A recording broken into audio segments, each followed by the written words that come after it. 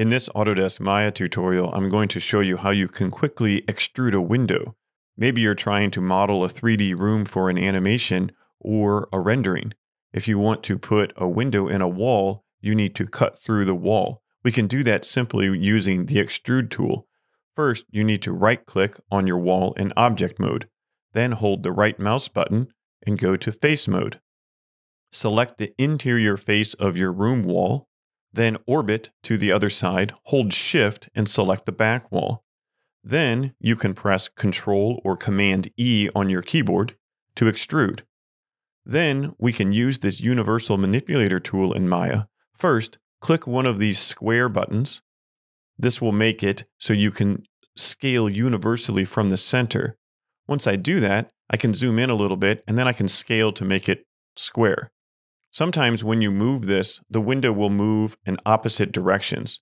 For example, if I move it up here, it moves down here. So we don't want that to happen. So just undo that, then press Q to exit the extrude tool.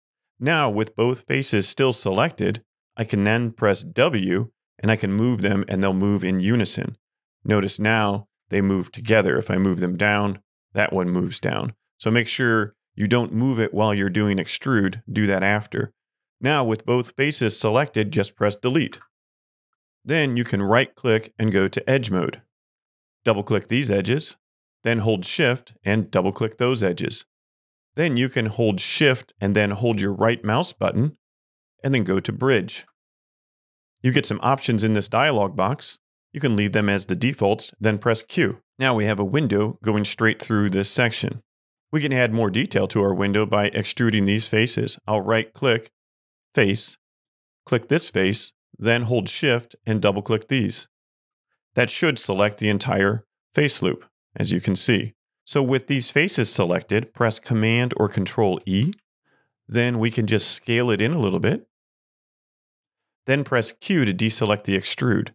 Then I can shift click all these faces, press Command E, and then I can bring this out a little bit to make a windowsill. I could click the scale command and scale it up a little bit just to give it a little bit of an angle if you wanted. How you make the window is up to you. Then I can press Q. I can, I can select these faces. Press G on your keyboard to repeat the last command. Then I can extrude these out a bit.